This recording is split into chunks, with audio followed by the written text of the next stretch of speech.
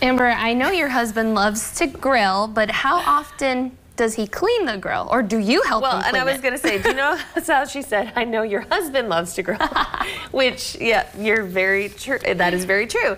I don't know how much he cleans it. I know probably not as much as he's supposed to. Well, it's a big grill. And I don't help with it either. so it's probably time to do that.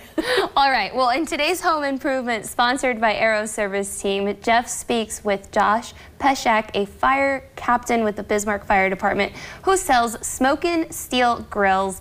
And here's what he had to say about cleaning your grill. We're back with Josh Peshek from Smoking Steel Grills. Josh, thanks again for inviting us in. Yeah. So we've gone over the Pitts and Spitts, but how do we clean our grills so we can do it safely, we can do it well? Sure. With the pellet grills being you are burning wood in there, you're going to have an ash buildup. For these to work properly, you want to make sure you have good airflow. And as that ash builds up, it can block the air movement in the grill. So the first thing you want to do is vacuum all your ash out uh, to make sure that that's clean out of your barrel and out of the fire pot. So with with the pellet grills, a lot of times you're doing a fatty meat uh, that's going to create a lot of grease. So when that happens, you're going to have a grease buildup. And with the pellet grill, you can then bump up the temperature, say you want to do some chicken wings or something like that, and that grease can start on fire. So you want to make sure you scrape all that grease out. One of the common tools for cleaning a grill everybody's had is that grill brush. What you want to watch for on those is that the bristles don't fall off. So anytime you use that grill brush, you want to then make sure you rinse off the grates if you use those. I actually have gone away from using a grill brush most of the times. Okay. And I've switched over to a bamboo uh, scraper. So what I'll take on these and I'll just scrape off the big chunks of, of grease and things that may build up on there.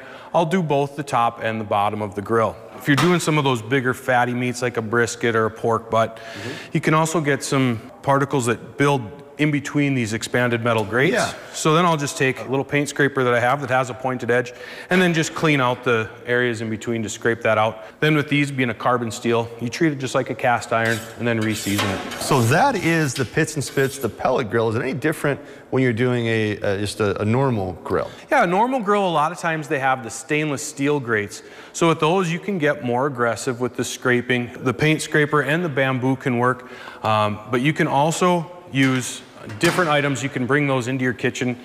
Have heard some guys that put them in the dishwasher. It is going to throw some grease around. Sure. Um, so you might not always want to do that. Most of the time, I'll take mine into the sink, um, clean them at the sink. All right, Josh, so we went over the bamboo scraper and the paint scraper, but you got a couple household kitchen items that can yeah. help do it. So what do we do to use those? So a lot of times what I'll do is I'll take these in. You can scrape the big chunks of things off here. When you get it into the sink, just use warm soapy water. You can use the Brillo type pad or even just a scouring pad like you'd have on a sponge. And then you can clean the grates off with that. And these will fit inside a sink in your home. And being that it's stainless steel, it's not going to harm the, the grate at all. Right. Uh, and you can be really aggressive with how you're scraping them. And these are one, if you do use that grill brush with the wire bristles, you want to make sure you rinse that off and get all any wire bristles off of there. And that's why I recommend using different items such as that. I always try to avoid using chemicals if I can. If I do have to use a harsher cleaning chemical, then I do a burn off in my grill. Use it at 350 degrees for at least a half hour just to burn off any uh, chemical remnants that might be there. The other type of grates that some people might have are the porcelain coated grates. Now those you want to be a little bit careful not being too aggressive on to make sure you don't crack that uh, enamel that might be around the, the grates on there. Josh, some really great information. We appreciate you sharing it with me and our viewers at home. Uh, folks, stop on down to Smoking Steel Grills. I'm telling you, Josh really knows his stuff. Check out these grills, these pellet grills. They are far, far superior to anything else that I have personally seen locally. Back to you guys. All right, thank you, Jeff. Natalie is just ready to buy a grill at this point after watching all that.